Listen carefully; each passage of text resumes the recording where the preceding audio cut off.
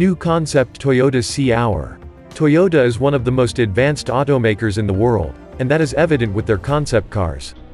Concept cars are a great way to showcase some of the technology automakers are working on, and Toyota has some of the most exciting concept cars in the industry.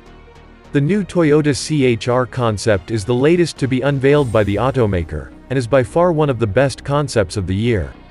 Dan has decided to dedicate this article to tell you everything we know about the new Toyota CHR concept vehicle so far. The name CHR actually stands for compact size with high ride height. The CHR may not be the most exciting concept vehicle name we've ever heard, but the CHR describes the vehicle very well. This stylish crossover concept vehicle features bold lines and sharp total style.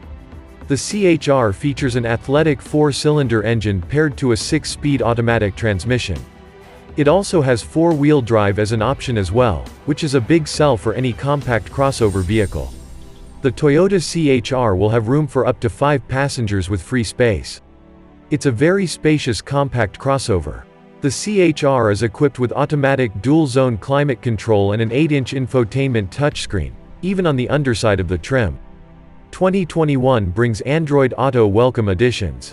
A new powertrain for the CHR, which isn't really the reason for the celebration.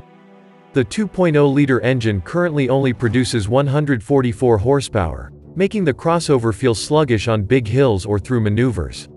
Snow country buyers will also want to look elsewhere, the CHR remains a front-wheel drive vehicle.